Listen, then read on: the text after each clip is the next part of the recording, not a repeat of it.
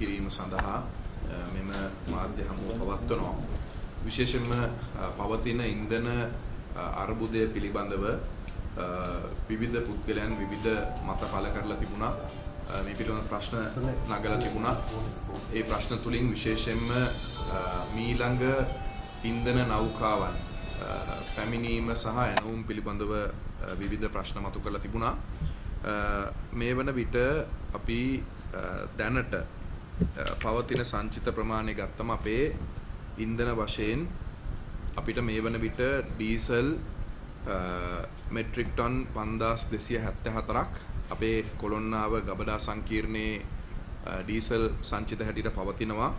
ඊට අමතරව අපි පසුගිය මීට දින 3කට පෙර ඉන්දියානු IOC සමාගමට ඩොලර් මිලියන 11ක මූල්‍ය ගෙවීමක් තුල තවත් මෙට්‍රික් ටන් 7500ක් ලබා ගන්න කටයුතු කරලා තිබෙනවා. හෙට දවසේ සිට ත්‍රිකුණාමලයේ IOC LIOC පර්යන්තයේ සිට එම මෙට්‍රික් ටොන් 7500 කොළොන්නාවටත් අපේ අනෙකුත් අවශ්‍යතාවයන් වෙනුවෙන් ලබා ගන්න බලාපොරොත්තු වෙන යනුව මේ වන විට දල වශයෙන් සංචිත ලෙස ඩීසල් හැටියට මෙට්‍රික් ටොන් 12774ක සංචිතයක් අපි තුල පවතිනවා.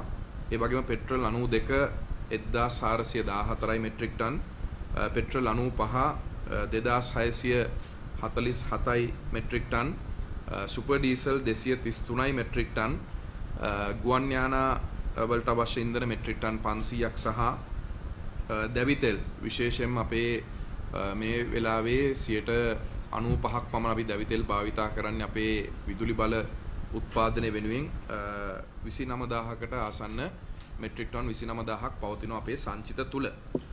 ඊට අමතරව අපි මේ වන විට නිශ්චිත වශයෙන් විශේෂයෙන්ම khනිජ තෙල් සංස්ථාව මගින් සැපයුම් කරුවන්ට දන්වල සැපයුම් කරුවන් මගින් සනාත කරපු මේ වන විට නෞකා 10ක් නෞකා 10ක් ඒ වගේම IOC සමාගමේ කරන ගෙවීමත් එක්ක අපි IOC සමාගමට කරපු 7500 සඳහා ගෙවපු එකත් එක්ක ගත්තොත් එහෙම අපි අපේ මේ සැලසුම ඇතුළ අංග 11ක් වෙනුවෙන් තමයි සැලසුම් කරලා තිබෙන්නේ. ඒකේ පළවෙනි අංගය තමයි ලංකා IOC සමාගමෙන් ලබා ගන්න මෙට්‍රික් ටොන් 7500. ඒ 7500ට අවශ්‍ය මුදල් අපි පසුගිය 30 වෙනිදා අපි තැන්පත් කරා ඒ වෙන ඩොලර් මිලියන 11ක් ගෙවලා තමයි ඒ මෙට්‍රික් ටොන් 7500 ලබා ගන්න කටයුතු කරලා තිබෙන්නේ. ඊට අමතරව මේ වන විට පෙරගෙවීම් දෙකක් කරලා තිබෙනවා. සමාගම් තවත් දෙකකට. පළවෙනි පෙරගැවීම අපි කරලා තිබෙනවා විටෝල් සමාගමට. ඔටෝ ඩීසල් 40000ක මෙට්‍රික් ටන් නෞකාවක් වෙනුවෙන්. ඒ නෞකාව පැමිණෙන දිනවකවානු හැටියට ඔවුන් අපිට ලබා දීලා තිබෙන්නේ 11 වෙනිදා සහ 14 වෙනිදා කියන දින ඇතුළ තුල එම ලංකාව ලංකාවට පැමිණෙන්න බලාපොරොත්තු වෙනවා කියලා ඒ අනුව ඔවුන්ට දැනට අපි ඩොලර් මිලියන 28ක මුදලක් පසුගිය 30 වෙනිදා තැන්පත් කරලා තිබෙනවා. තවත් ඩොලර් මිලියන 49ක මුදලක් අපිට තැන්පත් කළ යුතුව තිබෙනවා 8 වෙනිදා. ඒ 8 වෙනිදා තැන්පත් කිරීමෙන් පසු අපි බලාපොරොත්තු වෙනවා 11 වෙනිදා සහ 14 වෙනිදා කියන දින ඇතුළ තුල ඩීසල් මෙට්‍රික් ටන් 40000ක නෞකාවක් විටෝල් සමාගමෙන් ලබා ගන්න කටයුතු කරන්න. ඊට අමතරව ඉන්දියානු ඔයිල් කෝපරේෂන් IOC සමාගමෙන් විශේෂයෙන්ම ශ්‍රී ලංකා රජයෙන් ඉල්ලීමක් කරා ඉන්දියානු රජයෙන් ඉන්දියානු මහ කොමසාරිස්තුමාත් මැදිහත් වෙලා තිගරු ජනාධිපතිතුමා අග්‍රාමාත්‍යතුමා කරපු ඉල්ලීමට අනුව ඔවුන් නෞකා පහක් ඇත්තටම එක නෞකාවක් අපි කලින් ඔවුන් එක යෝජනා කරලා තිබුණා ඊට අමතරව තවත් හතරක් වෙනුවෙන් ඔවුන් එකඟතාවය පළ කරලා තිබුණා. ඒ අනුව පළවෙනි නෞකාව වෙනුවෙන් ඔවුන් දවා දීලා තිබුණේ දිනවක් වානු පෙට්‍රල් නෞකාවක් සඳහා. ජුනි මාස ජුලි මාස. ජුලි මාස පෙට්‍රල් නෞකාව දීලා තියෙන්නේ 22 23 කියන දින දෙක ඇතුළත තුල ලංකාවට පැමිණෙන්න. ඒ නෞකාවට අවශ්‍ය අත්තිකාරම් මුදල් හැටියට ඩොලර් මිලියන 19.95ක් අපි පසුගිය 30 වෙනිදා ගෙවීමට ලක් කරා. තව තියෙනවා ඩොලර් මිලියන 19.95ක් ගෙවීමට තිබෙනවා අපිට 8 වෙනිදා ඒක ගෙවීමට අපි බලාපොරොත්තු වෙනවා. ඊට අමතරව එහි අමතර මුදල විශේෂයෙන්ම ඉන්දියානු ණය ක්‍රමේ යම් මුදලක් ඉතුරුලා තිබුණා ඩොලර් මිලියන 20කට ආසන්න ප්‍රමාණයක්. ඒ 20න් තමයි ආවරණය වෙන්නේ IOC සමාගයෙන් ලබා දීපු පෙට්‍රල් නෞකාව 22 23 අතර පැමිණිට නියමිතලා තිබෙන. මේවා තමයි දැනට අපි පෙරගෙවීම් හැටියට නෞකාවලට ඇනවුම් කරලා තිබෙන්නේ. නමුත් මීට අමතරව කොරල් සමාගම අපිට තහවුරු කරලා තිබෙනවා ඩීසල් නෞකාවක්. මේක තමයි අපිට පේන්නේ කලින්මම පැමිණෙන නෞකාව හැටියට. ඒක අපිට දැනට ලබා දීලා තියෙන දින වකවානු අනුව ඔවුන් අපිට ලබා දීලා තිබෙන්නේ අද උදෑසන ඔවුන් අපිට පණිවිඩයක් එවලා තිබුණේ ඩීසල් නෞකාව පස්වෙනිදා ඔවුන් පිටත් කරන්න සූදානම් කරනවා කියන එක. ඒ අනුව ඉන්දියාවෙන් තමයි මේ නෞකාවත් ඔවුන් පිටත් කරන්න කටයුතු කරන්නේ කොරල් සමාගම. ඒ අනුව පැමිණීමේ දිනේ ඔවුන් අපිට ලබා දීලා තියෙන්නේ estimated time of arrival 8 වෙනිදා හෝ 9 වෙනිදා තමයි ජූලි මාසයේ අපිට ලබා දීලා තියෙන්නේ. ඒ අනුව මේ අපිට තියෙන සැලසුම අනුව පළවෙනි නෞකාව හැටියට අපි බලාපොරොත්තු වෙන්නේ කොරල් සමාගමේ ඩීසල් රැගත් 40000ක මෙට්‍රික් ටන් 40000ක නෞකාව 8 වෙනිදා හෝ 9 වෙනිදා තමයි අද උදෑසන වෙන විට මේ මොහොත වෙනට අපිට දන්වලා තිබෙන්නේ. ඒකට පෙරගෙවීමක් අපිට කළ යුතු නැහැ. එහි නෞකාව පැමිණීමෙන් පසුව තමයි ගෙවීම් කටයුතු කළ යුතුව තිබෙන්නේ. ඩොලර් මිලියන 66 මාරක පමණ මුදලක් තමයි ඔවුන් ඒ සඳහා ඇස්තමේන්තු කරලා තිබෙන්නේ. ඒ අනුව 8 වෙනිදා හෝ 9 වෙනිදා ඒ නෞකාව පැමිණීමෙන් පසුව එහි ප්‍රමිතිය පරීක්ෂා කිරීමෙන් අනතුරුව ඒ නෞකාවට අවශ්‍ය ගෙවීම් කටයුතු කරන්න අපි බලාපොරොත්තු වෙනවා. මීළඟට අපිට ඇනවුම් කර ඒ කියන්නේ පැමිණීමට බලාපොරොත්තු වෙන නැව හැටියට තියෙන්නේ මම අර කලින් සඳහන් කරපු විටෝල් නෞකාව තමයි ඊළඟට අපිට ඩීසල් නෞකාවක් හැටියට අපි පෙරගෙවීමක් කරලා තියෙන එක බලාපොරොත්තු වෙන්නේ 11 වෙනිදා සහ 14 වෙනිදා කියන දින අතරතුර තවත් 40000ක්. ඒතර අපි එක ළඟ ඩීසල් නෞකා දෙකක් එන්න බලාපොරොත්තු වෙනවා. ඒ වගේම ඊයේ රාත්‍රී අපිට අතරම පෙරේද රාත්‍රී ඉන්දියානු ඔයිල් කෝපරේෂන් එකෙන් IOC එකෙන් දැනුවත් කිරීමක් කරා. තවත් ඩීසල් නෞකාවක් ඔවුන්ට ලබා දීමට හැකියාව තිබෙනවා කියලා.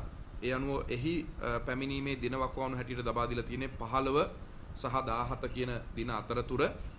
ඒකට අපි තාම පෙරගෙවීමක් කළා නැහැ නමුත් ඔවුන් ඉල්ලීමක් කළා තියෙනවා. හෙට දවසේ 50ක පෙරගෙවීමක් සහ බදාදා දවසේ ඉතුරු 50 පෙරගෙවීම සිදු කළ යුතුයි කියලා. නමුත් අපි ඔවුන්ගෙන් අද ඉල්ලීමක් කළා තිබෙනවා. පෙරගෙවීම හැටියට 50ක නැතුව 30ක පමණ මුදලක් අපිට බදාදා වෙනකන් ලබා දෙන්න කියලා කාලය ඒ ගෙවීම් කටයුතු කරන්න. මොකද එක ළඟ ඩීසල් නෞකා දෙකක් එනවා. මේ තුන්වෙනි නෞකාවත් එක්ක එතකට විශාල ඩීසල් තොගයක් ලංකාවට පැමිණෙන නියමිත වෙලා තිබෙනවා. නමුත් අපිට පෙට්‍රල් නෞකාවක් සඳහා ප්‍රමුඛතාවය ලබා දිය යුතු නිසා තමයි අපි ඉල්ලීම කළ තිබෙන්නේ.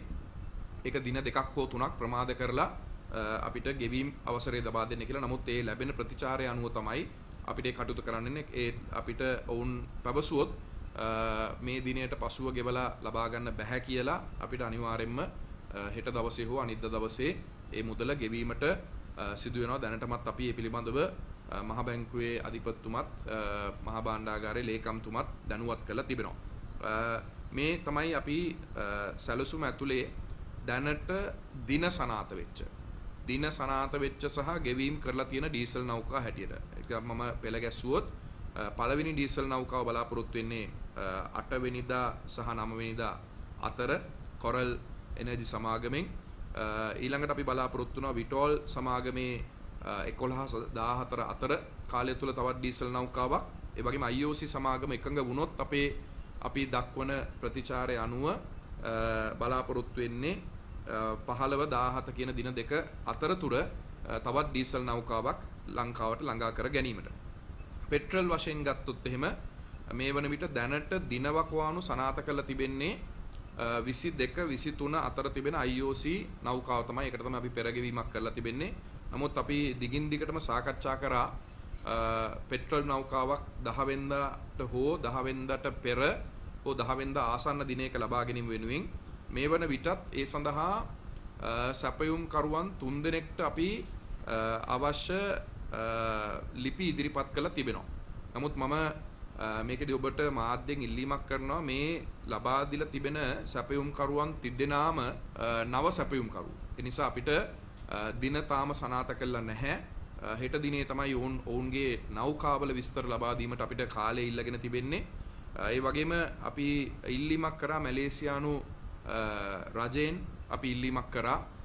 ඒ අනුව මැලේසියානු අග්‍රාමාත්‍යවරයාගේ දකුණු ආසියානු කලාපයේ භාරව කටයුතු කරන විශේෂ නියෝජිතයත් සමග අපි අදහස් සුවමාරු කරගෙන අපි ඉල්ලීමක් කරා පෙට්‍රල් සහ භූමි තෙල් පෙට්‍රල් සහ භූමි තෙල් අවශ්‍යතාවය වෙනුවෙන් කඩිනමින් විශේෂයෙන්ම මැලේසියාවේ පෙට්‍රෝනාස් සමාගමත් එක්ක කටයුතු කරලා අපිට කඩිනම් විසඳුමක් ලබා දෙන්න කියලා. ඒ අනුව පහුගිය දින තුනේ අපි ඔවුන් සමග සාකච්ඡා කරා.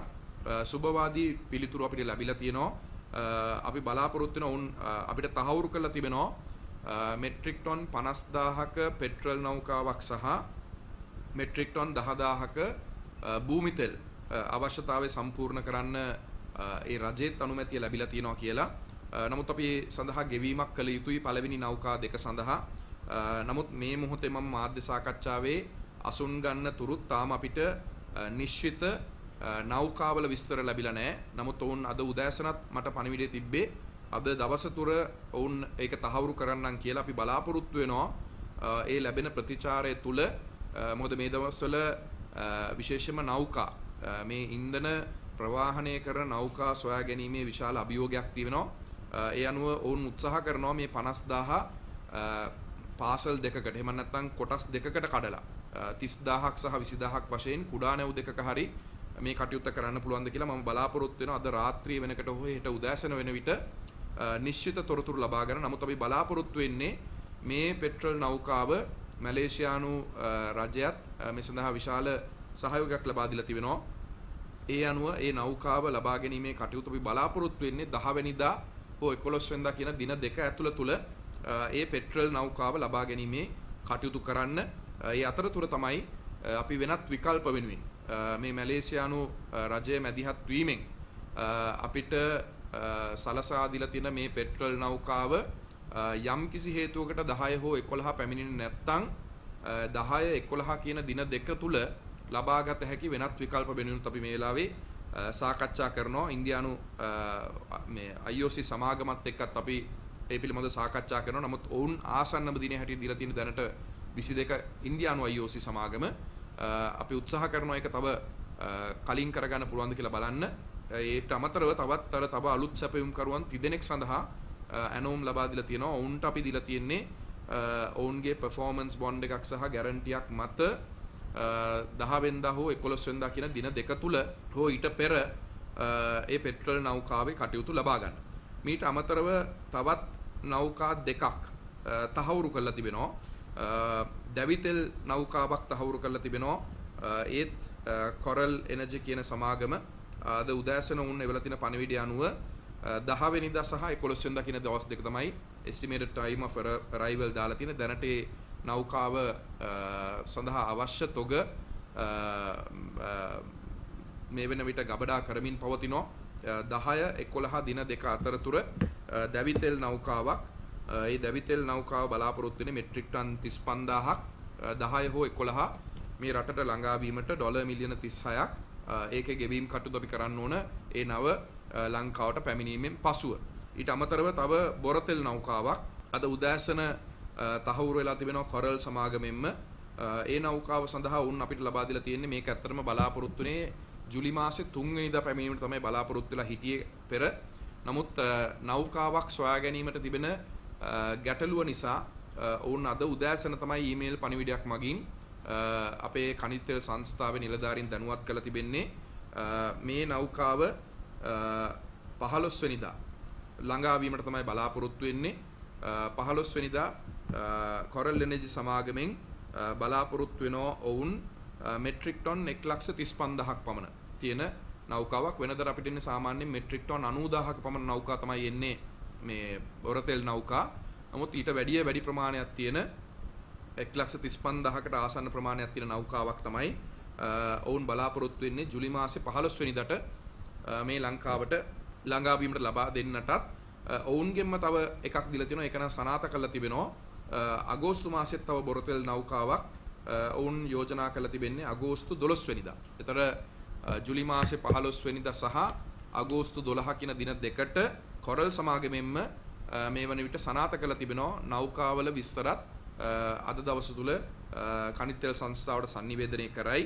ඒ අනුව ඒ බොරතෙල් නෞකා දෙක සඳහාත් අපි ඇනෝම් කළ තියෙනවා. මීට අමතරව තවත් විවිධ පාර්ශ්ව වෙනුවෙන් අලුතෙන් ඉදිරිපත් වෙච්ච සැපයුම් කරුවන් වෙනුවෙන් බොරතෙල් නෞකා සඳහා අපි මීට පෙරත් මම කිව්වා ඇනවුම් හතක් විතර කළ තියෙනවා විවිධ ප්‍රමාදයන් ඔවුන් දක්වලා තිබෙනවා.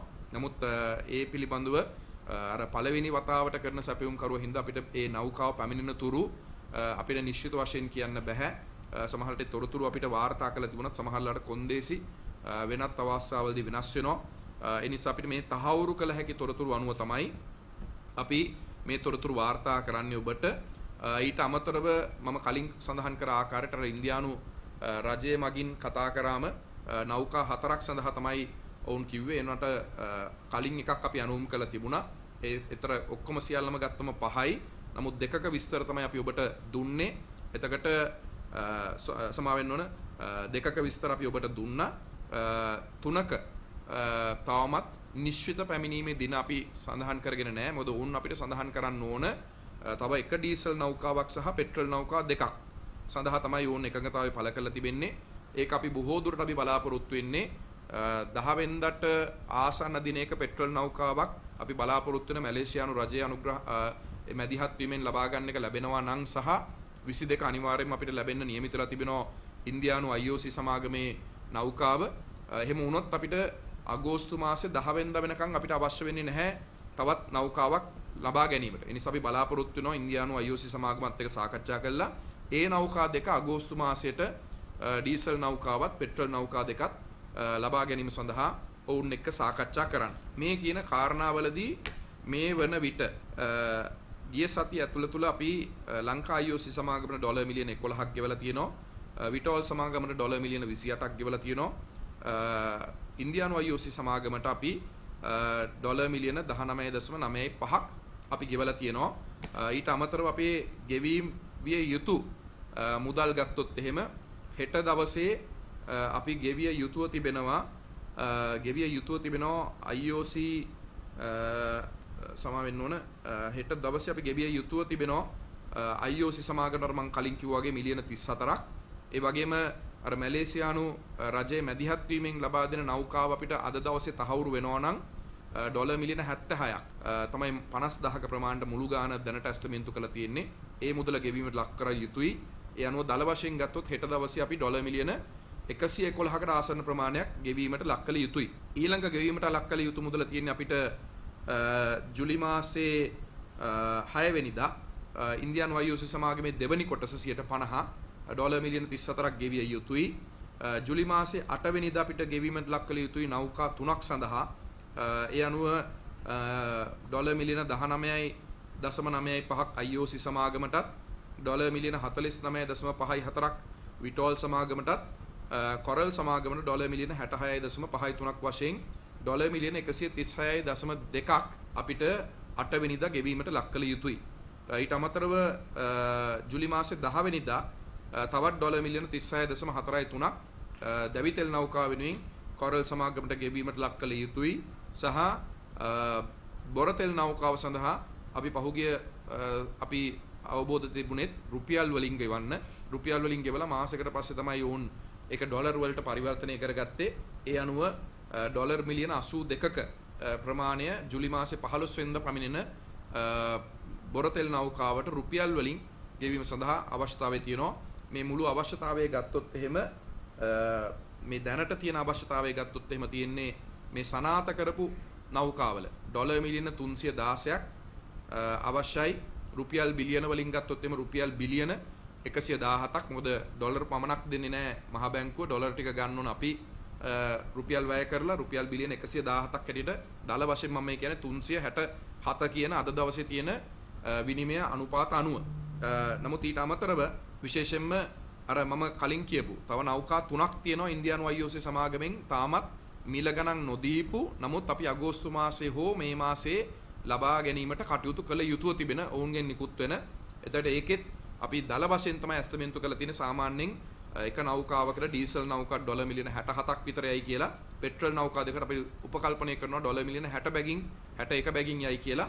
එහෙම ගත්තොත් එහෙම මේ සම්පූර්ණ අවශ්‍යතාවය අපේ තියෙනවා ඩොලර් මිලියන 587ක් සම්පූර්ණ අවශ්‍යතාවය රුපියල් බිලියන වලින් ගත්තොත් එහෙම රුපියල් බිලියන 217ක්. ඉතින් මේක තමයි අපේ රටේ මේ අවශ්‍යතාවය. ඒ නිසා පහුගිය කාලේ අපි උත්සාහ කරේ මහ බැංකුව මගින් සහ මහා භාණ්ඩාගාරය මගින් අපිට දැනුවත් කළ තිබුණේ කනිත් තෙල් සංස්ථාවට ඉන්ධන ආනයනය කිරීම සඳහා ලබා දිය හැකි උපරිම මුදල ඩොලර් මිලියන 125ක් හැටියට. ඒ අනුව තමයි අපි පහුගිය කාලවල විවිධ වෙනත් ගෙවීමේ සැලසුම් යටතේ සමහර ණය ක්‍රම යටතේ සමහර රුපියල් ක්‍රමවේද යටතේ විවිධ ක්‍රම යටතේ අපි උත්සාහ කරේ අපිට තියෙන මුදල් අනුව මේ කටයුත්ත කරන්න. නමුත් අපි ඒක අසාර්ථක වුණා. පහුගිය කාලේ අපි අලුත් සැපයුම් කරුවන්ට ලබා දුන්නම ඒ අලුත් සැපයුම් කරුවන්ට ඔවුන්ට තිබෙන සමහරලාට නෞකාවල තිබෙන ගැටලු මූල්‍යමය ගැටලු මේ විවිධ හේතු නිසා වෙනස් වෙන්න ලක් වුණා. නමුත් රජයක් හැටියට අතිගරු ජනාධිපතිතුමත් අග්‍රාමාත්‍යතුමත් අවසාන වශයෙන් තීන්දුවක් ගත්තේ මුදල් කෙසේ හෝ හොයාගෙන හෝ අපි ඉන්ධන අර්බුදය සඳහා විසඳුමක් ලබා දිය යුතුයි කියන එක. නිසා ඇනෝම් කරලා තිබෙනවා. ඒ සඳහා අවශ්‍ය මුදල් වෙනුවෙන් අපි ඉල්ලීමක් කළා තියෙනවා. අද උදෑසනත් මම සාකච්ඡා කරා මහ බැංකුවේ අධිපතිවරයා සහ මහා භාණ්ඩාගාර ලේකම්වරයාත් එක්ක මේක පහසුවෙන් ලබා ගන්න පුළුවන් මුදලක් නෙවෙයි. මට තාම තියෙනවා අභියෝගයක් මේ මුදල් සොයා ගැනීම වෙනුවෙන් අපිට මුදල් මහා බැංකුවෙන් සහ බැංකු පද්ධතිය තුලින් සොයා ගන්න බැරි නම් වෙනත් විකල්ප වලට අපිට යන්න වෙයි මුදල් සොයා ගැනීම සඳහා. නමුත් අපි දන්නේ දේශීය වෙළඳ පොලේ හෝ ජාත්‍යන්තර වෙළඳ පොලේ ඩොලර් ලබා ගැනීම සඳහා අපිට 367 කියන මුදලටම ගන්න පුළුවන් වේද කියලා. ඒස අපි අනුමැතියකුත් ඉල්ලනවා කැබිනට් මණ්ඩලයෙන් යම් කිසි ආකාරයක අපනයන කරුවන් ළඟ හෝ එහෙම නැත්නම් ජාත්‍යන්තර වශයෙන් තියෙන බැංකුවක ඩොලර් ලබා ගැනීම සඳහා ඒ අවශ්‍යතාවය සඳහා රුපියල් ලබා ගැනීමත් අවශ්‍යයි. ඩොලර් සඳහා සමහරට ඒ අගය වෙනස් වුණොත් ඒක ලබා ගැනීම සඳහා අපි අනුමැතියක් ඉල්ලලා තියෙනවා. මොකද මේ දෙකම නැති වුණොත් මේ මොන ඇනෝම් කරත් වැඩක් වෙන්නේ නැහැ. අපි ඇනෝම් දාලා තිබුණට අවශ්‍ය මුදල් ටික අපිට නැත්තම්. ඒ නිසා විශාල අභියෝගයක් තියෙන්නේ. මේක මම දිගින් දිගටම කියපු අභියෝගය තමයි මේක. අපිට ඇනෝම් කළ හැකි අත්පිට මුදලට පමණයි අපිට බොහෝ මේ දෙන්නේ මේ ආයතන වලින් අපිට දෙන්නේ. මොකද මම කලිනුත් කිව්වා ඔබට අපිට පහුගිය කාලවල මම කියන්නේ මේ මම මේ විෂය භාරව පැමිණෙන්න පෙර පසුගිය නොවැම්බර් මාසයේ ඉඳලා පසුගිය නොවැම්බර් මාසයේ ඉඳලා අප්‍රේල් මාසය දක්වා මේ රටට ආනයනය කරලා තිබුණු ඉන්ධන වෙනුවෙන් ගෙවීමට තිබෙනවා ලංකා බැංකුව මගින් ගෙවන්න තියෙනවා ඩොලර් මිලියන 326ක් ඒ සැපයුම් කරුවන්ට මොකද මේව ඔක්කොම දින 180 දින 90 ණය පහසුකම් ලබා දීලා තිබේ. දැන් මේ පහසුකම් අපිට ලැබෙන්නේ නැහැ. ඒ කාලේ වරප්‍රසාද තිබුණා. ණය පහසුකම් ලැබුණා. මහජන බැංකුව හරහා ගෙවීමට තිබෙනවා ඩොලර් මිලියන 242ක්. ඒ වගේම ඉදිරියේ කල්පිරුනම ණයවර ලිපි කල්පිරුනම ජුලි මාසයේ 22 වෙනිදා දක්වා තිනවා තවත් ඩොලර් මිලියන 80ක වගේ ප්‍රමාණයක්. එතකොට ආසන්න වශයෙන් ගත්තොත් ඩොලර් මිලියන 80ක් පමණ 800ක් පමණ ඩොලර් මිලියන 800ක් පමණ විවිධ සැපයුම් කරුවන්ට ගෙවිය යුතුව තිබෙනවා. මේවට අවශ්‍ය රුපියල් අපි කනිත් තෙල් සංස්ථාව හැටියට ඒ බැංකු වලට තැන්පත් කරලා තිබෙනවා. පහුගිය කාලවල. නමුත් ඩොලර් එක 203 ඉඳලා 360 දක්වා යෑම නිසා දැන් ඒ රුපියල් අවශ්‍යතාවයත් වැඩිලා තියෙනවා. නමුත් මහ බැංකුවේ අධිපතිවරයා මේ හැම පාර්ශවයක් එක්කම වෙනමම දැන් සාකච්ඡා කරනවා මේ සැපයුම් කරුවන් එක්ක. සැපයුම් කරුවන් අතර 7 දෙනා ඉන්නේ. මේ ඩොලර් මිලියන 800ක අපි ගෙවිය යුතු. එතන උන්ට දැන් බොහෝ දිනෙට දීලා තියෙනවා අපිට ගෙවිය හැකි කාලවකවානු දක්වලා පේමන්ට් ෂෙඩියුල් එකක් දීලා තියෙනවා. සමහර සමාගම් වලට සතිපතා ඩොලර් මිලියන 5 බැගින් වෙන්න පුළුවන්. සමහර සමාගම් වලට මාස්පතා ඩොලර් මිලියන 5 බැගින් වෙන්න පුළුවන්. ඒ ගෙවීමට හැකියාව තිබෙන ආකාරයට නන්දලාල් වීරසිංහ මහ බැංකුවේ අධිපතිතුමා ඔවුන්ට සහතිකයක් ලබා දීලා තියෙනවා ලිඛිතව ලබා දීලා තියෙනවා මේ කාරණාව අපි කරනවා කියන එක. ඒ අනුව අපි ඉල්ලීමක් කරා උන්ට නැවත අපිට ණය පහසුකම් එක්ක අපිට සැපයුම් කරන්න පුළුවන්ද කියලා. නමුත් අවාසනාවට කිසිම සමාගමක් ණය පහසුකම් සමග සැපයුම් කරන්න ඉදිරිපත් වෙලා නැහැ.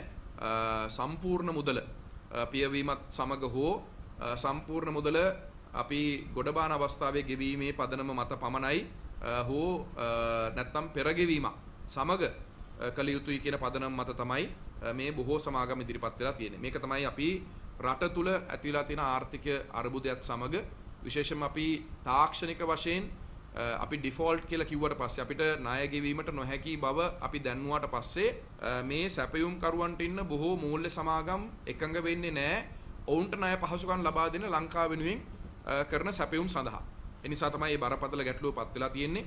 අපි උත්සාහ කරා ණයවර ලිපි විවෘත කරන්න සම්පූර්ණ මුදල තැන්පත් කළ ණයවර ලිපි විවෘත කරන්න උත්සාහ කරත් ජාත්‍යන්තර බැංකු ජාත්‍යන්තර මූල්‍ය ආයතන අපේ බැංකු පද්ධතිය තුල මේ තිබෙන අවිනිශ්චිතතාවය සහ මේ කඩා වැටීම නිසා අපිට ණයවර ලිපි වලට අවශ්‍ය අනුමැතිය ලබා දෙන්නේ නැහැ. ඒක තමයි අපිට පහුගිය සති දෙකේ ඉරණමත් උනේත් 22 23 අපි බලාපොරොත්තු වෙච්ච නෞකාවලට මේක වැරදි මතයක් දක්වලා තිබුණා. මම දැක්කා ජනතා විමුක්ති පෙරමුණේ නායකයා අනුර කුමාර දිසානායක මහත්මයා මම දන්නේ නැහැ. එතුමා දැනුවත්වද නොදැනුවත්වද අපි පෙරගිනීමක් කළා. අපිට සල්ලි නැවත ලබා ගන්නත් බෑ. තෙල් ටිකක් නැහැ කියන මතයක් ජනගත කරලා තිබුණා සමාජගත කරලා තිබුණා. එතුමාට තොරතුරු දුන්නේ කනිජ තෙල් සංස්ථාවේ යම් නිලධාරියෙක් කියලා කිව්වා.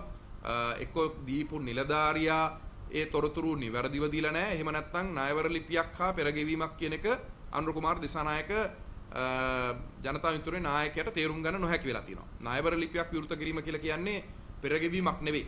ණයවර ලිපියක් විවෘත කිරීමෙන් බලාපොරොත්තු වෙන්නේ ඒ භාණ්ඩ ලබා දුන්නට පස්සේ තමයි ණයවර ලිපියට අවශ්‍ය මුදල් ප්‍රතිපාදන සම්පාදනය වෙන්නේ මහා බැංකුව සහ බැංකු හරහා. නිසා කිසිම ආකාරයක ලැබිච්ච නැති තෙල් වලට අපි පෙරගෙවීමක් කළා නැහැ. මම මේ කලින් කියපු මේ නෞකා තුනට තමයි අපි අනුමැතියන් අරගෙන විටෝල් සමාගම IOC සමාගම කියන දෙකට පමණයි දැන් ඔය පෙරගෙවීම් දෙකක් මේ සතිය අපි කරලා තියෙන්නේ. මීට පෙර අපි එහෙම පෙරගෙවීම් කළා නැහැ. නමුත් මේ තියෙන තත්වයක් එක්ක අපිට යම් යම් ක්‍රමවේදයන්ට යන්න සිදුලා තියෙනවා. නමුත් ඒ පෙරගෙවීම් කිරීමේදීත් ඔවුන් අපිට යම් ගැරන්ටි එකක් තහවුරු වීමක්. ඉතින් රජයක් ඇසින් රජයක් කරන එක කිසි ගැටලුවක් නැහැ IOC සමාගමක් එක්ක.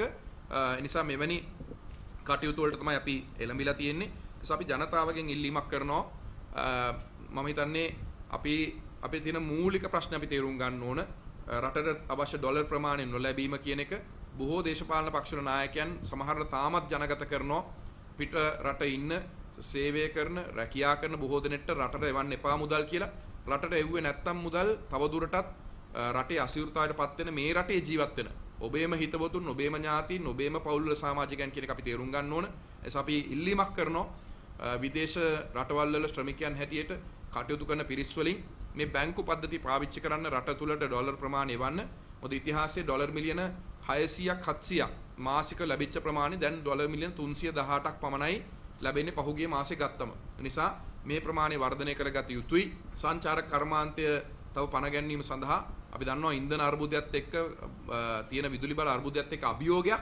නමුත් ඒ අභියෝගය තවත් දියුණු වෙන්නේ, තියුණු වෙන්නේ, ඒ අභියෝගය තවත් අපිට අසීරු වෙන්නේ මේ රට එක පැත්තකින් අස්ථාවර කිරීම සඳහා විවිධ දේශපාලන නායකයන් පක්ෂ ගන්න උත්සාහයන් ඒකට තව තවත් බාධාවන් බවට පත් වෙනවා. ඒ නිසා මේ පුටුවේ වාඩි වෙන හෝ මේ රටේ බලය ලබා ගන්න ඕනෑම දේශපාලන පක්ෂයකට ඕනෑම පුද්ගලයෙක්ට මේ අසීරු අභියෝගයට මුහුණ දෙන්න සිද්ධ වෙනවා. කවුරුහරි හිතනවා නම් එක දවසින් ඇවිල්ලා අපිට ඩොලර් ටික ගේන්න පුළුවන්, නැව් ටික ගේන්න පුළුවන් කියලා මුදල් නැතුව කවුරුවත් නැව් දෙන්න, තෙල් දෙන්න උත්සාහ කරන්නේ නැහැ.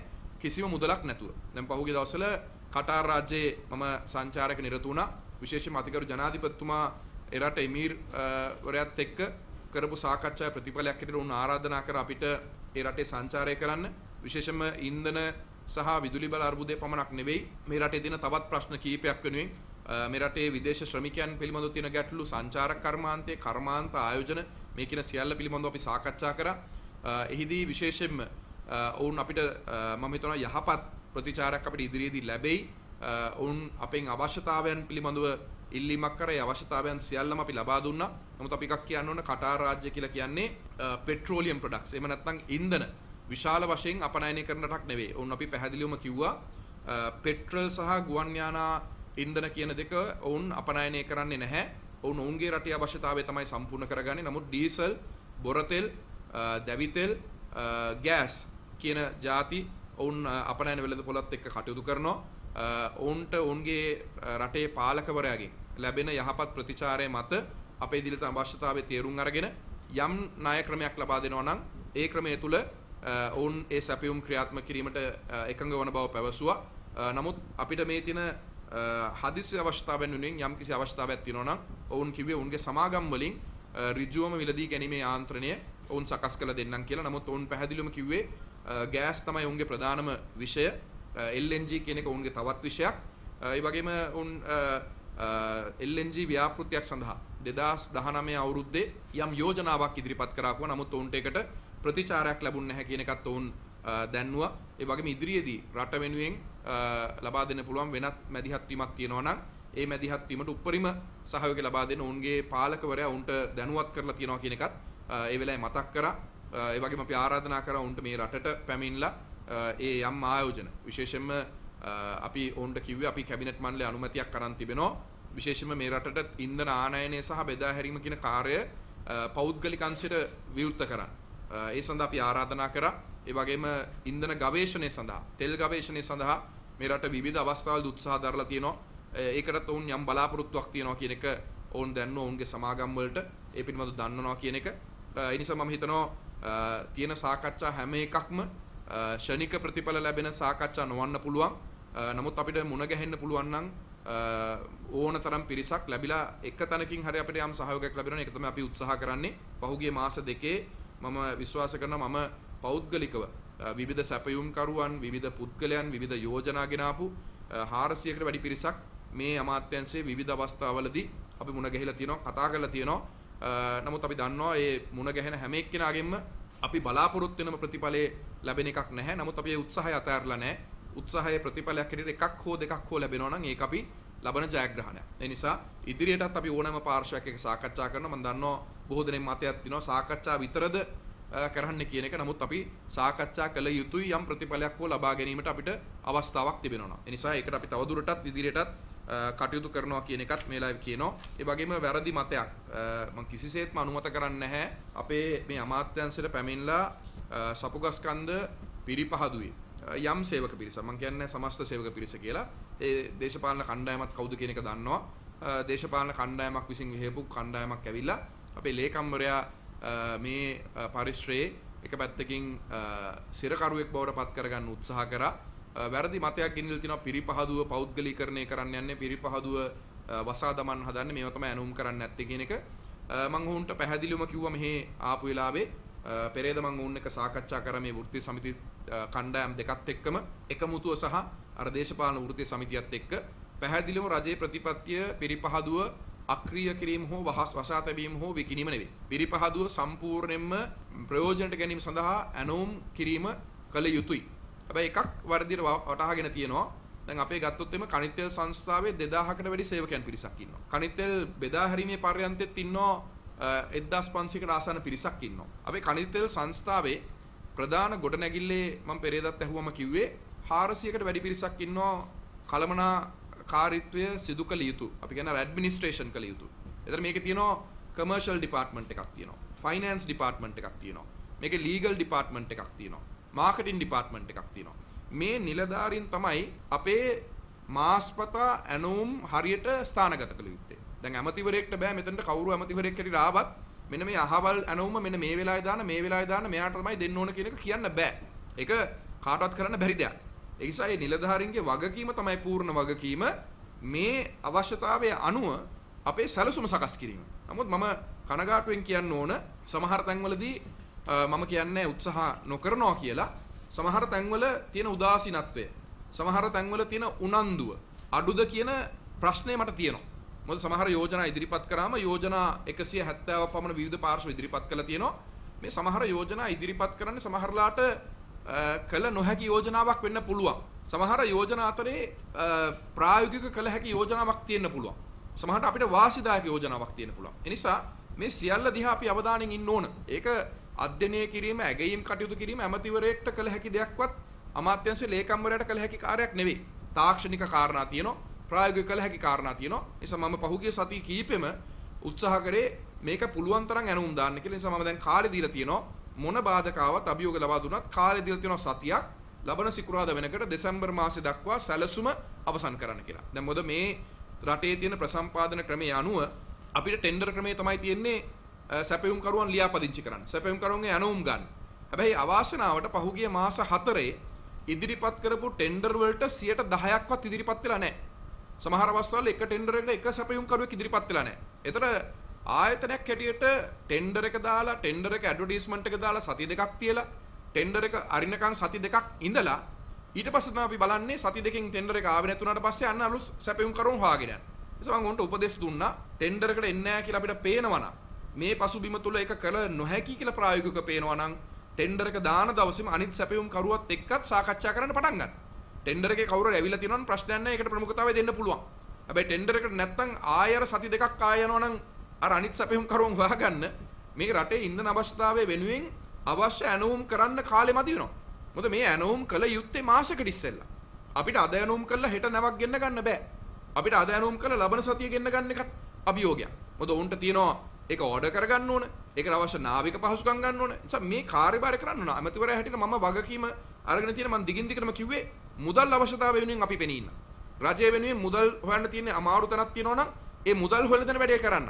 නමුත් ප්‍රායෝගිකව මේ 400ක් පමණ ඉන්න පරිපාලනයේ ඉන්න නිලධාරීන් අතේ තමයි තියෙන්නේ ඇනෝම් කළ යුතු දවස ඇනෝම් කළ යුතු ආකාරය ඒකට මොකද්ද ගන්න ඕන ක්‍රමවේද කියන එක. ඒ නිසා මේකේ වැරදි අවබෝධයක් වෙලා තියෙනවා මේක ජනාධිපතිතුමා අගමැතිතුමා නැත්තම් ඉන්න ඇමති තමයි ඇනෝම දාන්න ඕන කියන එක. මොකද ඉන්දියන් IOC සමාගමෙත් ඇනෝම් දාන විදියක් තියෙනවා. ලංකා IOC සමාගමේ. ඉතින් ලංකා IOC සමාගමේ ඇනෝම් දානවා ඒ ඇනෝම් වලට අවශ්‍ය මුදල් ටික හොයා ගන්නවා. මම දන්නවා මුදල් තමයි තියෙන අභියෝගේ. හැබැයි මුදල් අභියෝගයක් වුණත් අඩුම තරමේ ආයතනයක් හැටියට මේ සැපයුම් කරුවන් එක සාකච්ඡා කරන්න ඕන. සැපයුම් කරුව 7 දෙනෙක් ඉන්නවා ඩොලර් මිලියන 800ක් ලැබිය යුතු. හැබැයි මේ සැපයුම් කරුවන් එක මුදලක් දීලා නැතුව කතා කරන්නේ නැත්නම් ඒ සැපයුම් කරුවන් ආයේ ලංකාව දිහා බලන්නේ නැහැ. ඒ සැපයුම් කරුවන්ට කතා කරන්න ඕන. මේක රජයේ ආයතනයක් වුණත් මේක ව්‍යාපාර කරන ආයතනයක්. මේ ව්‍යාපාර කරන ආයතනයේ සැපයුම් කරුවන් එක නිරන්තරයෙන් සම්බන්ධ තියෙන්න ඕන. ඒ සම්බන්ධ ඇමතිවරයාට තියන්න පුළුවන් කාරණයක්වත් ජනාධිපතිවරයාට අගමැතිවරයාට තියන්න පුළුවන් කාරණයක් නෙමෙයි. ඒ නිසා මම පැහැදිලිවම කියන්න ඕන අපි ලබන සිකුරාදා වෙනකොට යම් තීන්දුව කීපයක් ගන්න වෙයි. අපිට ඒ ඇනුම් සිදු කරන්න කියලා මම උපදෙස් දීලා තියෙනවා. දෙසැම්බර් මාස වෙනක සියලුම ඇනුම් අපි සිදු කරන්න කියලා තියෙනවා. අභියෝගයේ තියෙන මුදල් වල අපි දන්නවා මහ බැංකුව අපිට දුන්නේ ඩොලර් මිලියන 125යි මාසිකව ඔක්තෝබර් මාස වෙනකම්ම දෙන්න පුළුවන් කියලා මාසිකව. ඒතර 400ක තියෙනවා පරතරයක්. ඒක හොයාගන්න එක අභියෝගයක්. හැබැයි ඒක හොයාගන්න අභියෝගය අපි මුණ දෙන්න. රජයක් හැටියට ප්‍රමුඛතාවයේ ඉන්ධන ලබා දීම. ඒ නිසා අපි දන්නවා විවිධ පුරස් පිරිස් ජනතාව කලබල කිරීමට කුපිත කිරීමට විවිධ සමාජ මාධ්‍ය හරහා විවිධ මාධ්‍ය හරහා අසත්‍ය ප්‍රචාරයන් ගෙනියනවා. ඒ නිසා ඒ මේ වෙලාවේ රටක් හැටියට අර්බුදයකට මුහුණ දීලා තියෙන එන්න වෙලාවේ අපි ඉල්ලීමක් කරනවා මේ දේශපාලන වාසි වෙනුවෙන් ජනතාව බිත්තිර හේතු කරන්න එපා. මැතිවරණ වෙලාවකදී තීන්දුව ගන්න. මේ වගකීම් මම ගන්න වෙලාවේ මම දන්නවා මේක ලේසි පහසු අභියෝගයක් නෙමෙයි කියලා. මම ඒ වෙලාවෙත් කිව්වා දැනුත් මම කියනවා මේ අභියෝගය මීට වැඩිය හොඳට කළමනාකරණය කරන්න පුළුවන් නායකත්වය දෙන්න පුළුවන් ඕනම කෙනෙක් ඉන්නවා නම් මේ මොහොතේ ඒ සඳහා අවස්ථාව ලබා දෙන්න මම සූදානම්. මේක මම දන්නවා ගන්න වෙලාවෙ ඉඳලා බැනුම් අහන්න වෙනවා දවස ගානේ.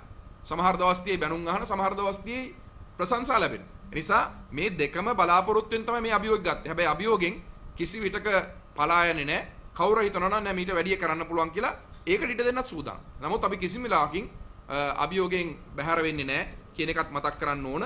ඒ වගේම අපි පහුගිය දවස්වල ජනතාවගෙන් ඉල්ලීමක් කරේ මට මතක විදිහට 25 වෙනිදා හෝ 24 වෙනිදා වගේ දවසක. අපි අර නෞකාව එන්නේ නැහැ කියලා නිශ්චිත වශයෙන්ම තේරුණාට පස්සේ අපි කිව්වා රැඳිලා ඉන්න එපා පෝලිම් වල කියලා. ඒතර තමයි ආරක්ෂක අංශ වලින් කිව්වේ දැනට රැඳිලා ඉන්න පිරිස් වලට යම් ටෝකන් එකක් ලබා දීලා වුන් යවනවා තව පිරිස් ගෙන්න ගන්න නැති වෙන්න කියලා. හැබැයි දැන් මේක වැරදි ක්‍රමවේදයකට ගිහිල්ලා මේ අර ඉන්න පිරිසට ටෝකන් දීලා ඉවත් කිරීම කටයුත්ත ඇරෙන්න මේ අලුතෙන් ආයේ පෝලිං වලට එන මිනිස්සුන්ට එන පිරිසට ටෝකන් ලබා දෙන ක්‍රමවේදයක් නෙවෙයි ක්‍රියාත්මක කරන්න කටයුතු කරගෙන ගියේ. ඒ නිසා අපි ජනතාව ඉල්ලීමක් කරනවා එහෙම එකතු වෙන්න එපා ටෝකන් ඉල්ලගෙන.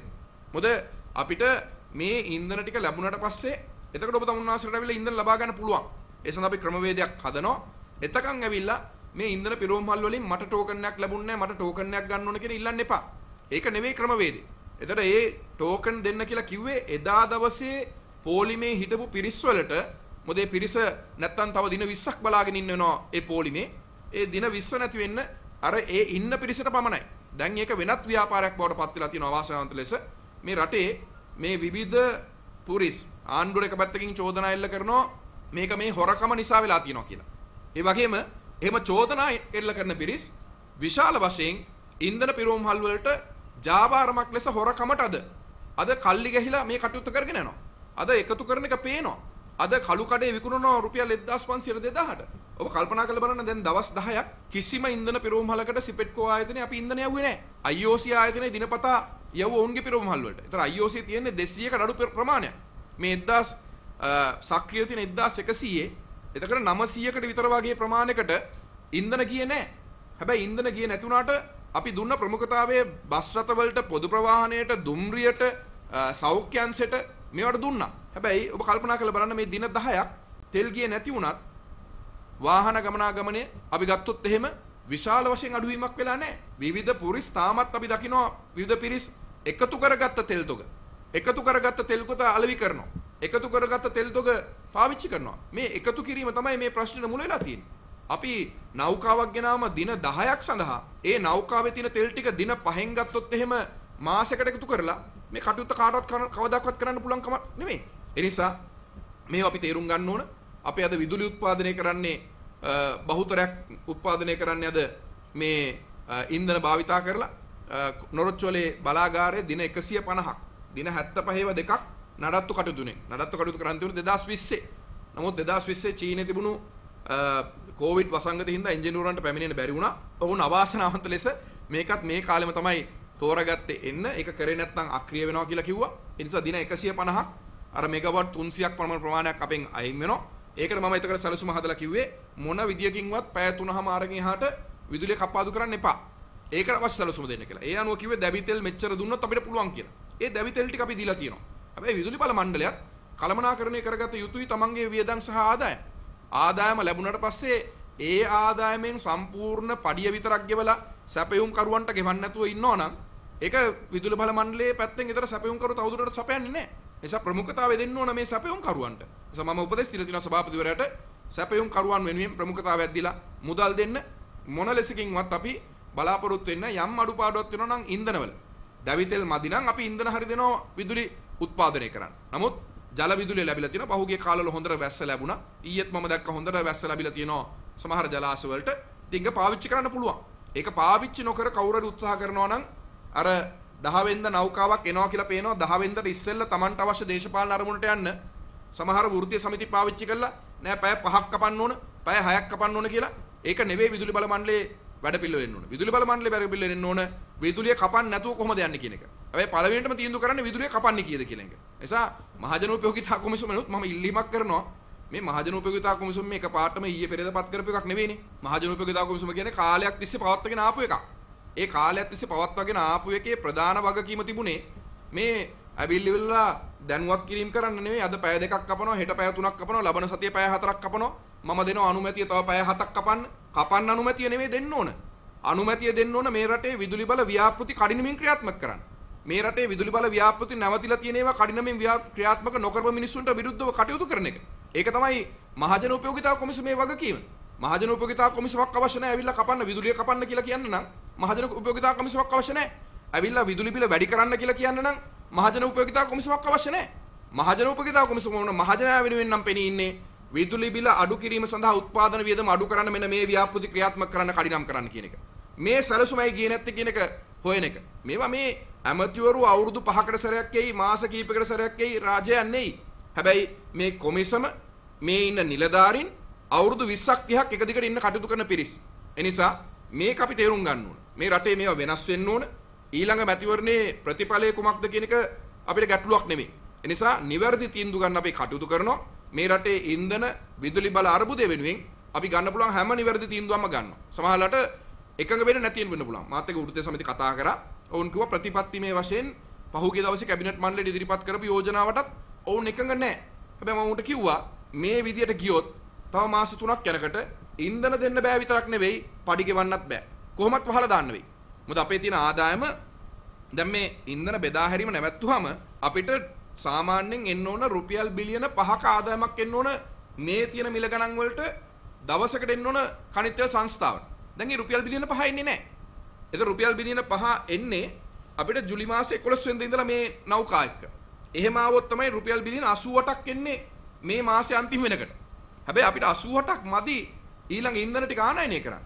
ඉන්ධන ටික ආනයනය කරන්න රුපියල් බිලියන 200ක් ඕන.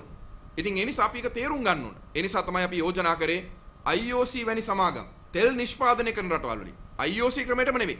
දැන් IOC එක වුණත් තෙල් ආනයනය කරන්නේ මහ බැංකුවේ මුදල් අරගෙන තමයි ඩොලර් අරගෙන තමයි ආනයනය කරන්නේ. ඒක අපිට කරන්න බෑ තවදුරටත්. අපි කිව්වේ ක්‍රෙඩිට් ලයින් එකක් කරා ණය ක්‍රමයක් යටතේ මව් සමාගමෙන් ගන්න ණයකින් අඩුම තරමේ මාස 6ක් අවුරුද්දක් එහෙම තෙල් ගේන්න පුළුවන් සමාගමකට අන්න දීර්ඝ කාලින අවුරුදු 20ක් 25ක් IOC වගේ අපි ඒ ක්‍රමවේදය හදලා දෙන්න ඕන කියලා. ඉතින් බොරතෙල් ගෙනල්ලා අපි සපුගස් කන්ද දුවනවා නම් අපේ 30ක් අවශ්‍යතාවය සම්පූර්ණ කරගන්න පුළුවන් නැව් දෙකෙන්.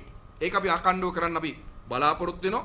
ඉදිරියේදී අපි බලාපොරොත්තු වෙන මේ අවශ්‍ය මැදිහත් වීම කරලා විශේෂයෙන්ම මම සතියක් දීලා තියෙනවා කාලේ දීලා තියෙනවා කනිත්තෙල් සංස්ථාවේ නිලධාරීන්ට ඇනෝම් ටික නිසියාකාරී කරන්න කියලා. ඇනෝම් කරන්නේ නැතුව විවිධ හේතු දෙන්නේ නැතුව ඒක දේශපාලන වශයෙන් අස්ථාවර කරන්න උත්සාහ කරන්න එපා කියන එකයි කියන්න තියෙන්නේ.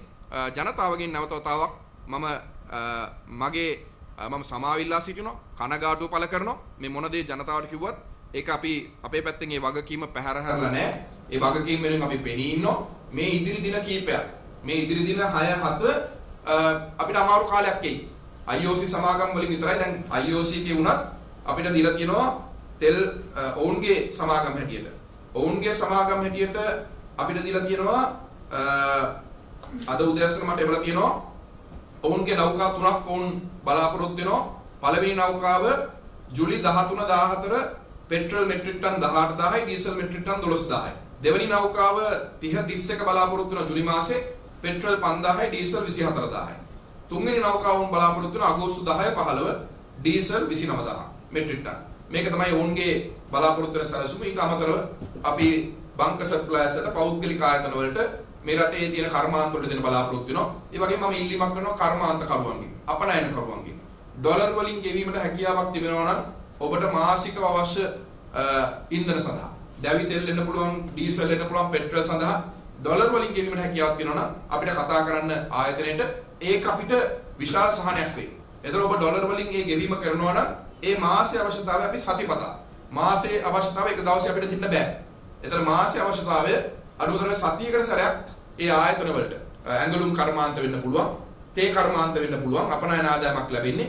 ඒ නිසා මේ අපනයන ආදායමෙන් ඔබට ලැබෙන මුදලෙන් ඩොලර් වලින් ඒ ඉන්ධන වලට ඇනුම් කරන්න පුළුවන් නම් කණිතෙල් සංස්ථාවේ සඳහා ගිණුමක් තියෙනවා. ඒක කතා කරන්න අපේ අලෙවි කළමනාකරුවන් එක්ක අපි මාසේ අවස්ථාව එක සැරේ දෙන්න බැරි වුණා. සතිපත අවස්ථාවේ දෙන්න 10 වෙනි දින අපි තහවුරු කරනවා එක සහතිකයක් දෙනවා දෙන්න පුළුවන් කියලා. ඒ අනුව අපි කටයුතු කරන්න බලාපොරොත්තු වෙනවා. අපි 10 වෙනිදා ඉඳලා අපි බලාපොරොත්තු වෙනවා මේ රටේ ජනතාවට බාධාවකින් තොරව අභියෝග නැතුව නෙවෙයි බාධාවකින් තොරව ලැබෙන ඉන්ධන තොග කළමනාකරණයකින් ලබා දෙන්න අපි බලාපොරොත්තු වෙනවා. නැවත වතාවක් අපි ජනතාවගෙන් සමාව ඉල්ලා සිටිනවා. කනගාටුව පළ කරනවා. මේ සිදුවෙන ප්‍රමාදයන් පිළිබඳව, සිදුවන අසිවෘතාවයන් පිළිබඳව, සිදුවන ඒ අපේ ඒ කටයුතු අඩාල වීම නිසා සිදුවලා තියෙන තමන්ගේ ආර්ථික හානිය පිළිබඳව. නිසා අපි නැවත වතාවක් ඔබෙන් ඉල්ලා සිටිනවා මේ 10 වෙනිදා තමයි අපි 8 වෙනිදා තමයි ඩීසල් නෞකාව පළවෙනි එක එන්න තියෙන්නේ. එතන ඉඳලා අපි පෙළ ගස්සලා තියෙන ආකාරයට අපි මේක අකණ්ඩව කටයුතු කරන්න බලාපොරොත්තු වෙනවා. දැන් ඕනෑම ආයතනයක වාර්ෂික සැලැස්මක් කියලා දෙයක් කියනවා. ඇයි ඔබතුමන්ලගේ ආයතනයේ වාර්ෂික සැලැස්මක් කියලා දෙයක් නැද්ද? එතකොට මේ ඉන්ධන ආනයනය කරන්න දැන් ඔබතුමන්ලා තීරණය කරන්නේ මේ අවුරුද්දේ මුල් කාලෙදී මේ වර්ෂය පටන් ගන්නකොට මෙන්න මේ කාලේ තමයි මෙන්න මේ ඉන්ධන නැව ඉන්න ඕනේ කියලා තීරණ අරගෙන ඒ යුසුම් ගතකින් ඇයි කරේ නැත්තේ? නෑ ඒක තමයි තියෙන ප්‍රශ්නේ. ඒක අමතිවරයා නෙවෙයි. මම කිව්වේ කමර්ෂල් ඩිපාර්ට්මන්ට් එකක් තියෙනවා. හැබැයි ඔබ කියන එකේ යම් අසාධාරණයකුත් තියෙනවා. අපේ රටේ තියෙන ප්‍රසම්පාදන ක්‍රමය අනුව අවුරුද්දකට කලින් කිවිසුම් දෙන්නේ නැහැ. අපේ දෙන්නේ මාසෙට තියෙන ටෙන්ඩර් එක තමයි ක්‍රමය.